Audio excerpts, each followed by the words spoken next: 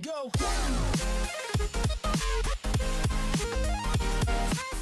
What is new YouTube? It's Moose here, bringing you guys another Black Ops 3 video, and today I want to bring you guys something that could definitely help you out in-game in Black Ops 3. So, as we all know, the G-Slide, or whatever you want to call it, is now patched and gone. I guess there is still a way to do it, but it's just too hard for most people to be able to do consistently now. So now many, many people are trying to find new ways to slide across the map or get around the map as quickly as possible. And if you guys don't know, the quickest way right now is to probably slide over and over, or to slide and jump, slide and jump. Um, those are movements actually in in the game where the G-Slide was kind of like a glitch, wasn't really supposed to be in the game. But to help these movements that are actually in the game, there is something that can maybe help you shave, I don't know, maybe a second, maybe half a second off your time across the map. Now, half a second, a second, whatever, that seems like nothing, but in Search and Destroy, in certain gunfights, getting around the map, getting away from a gunfight, this actually may save your life. So right here is the normal slide where you're just sliding across the map, you get up, you sprint out of it, you slide again. This is probably the fastest way to get around the map. But one thing that is a little annoying is when right at the end of your slide, when your guy gets up to sprint, there's like a half a second, maybe a quarter of a second, where he kind of just stands there. And it's like a very slow walk. And then he obviously starts sprinting again, and then you go into the slide again. But there is that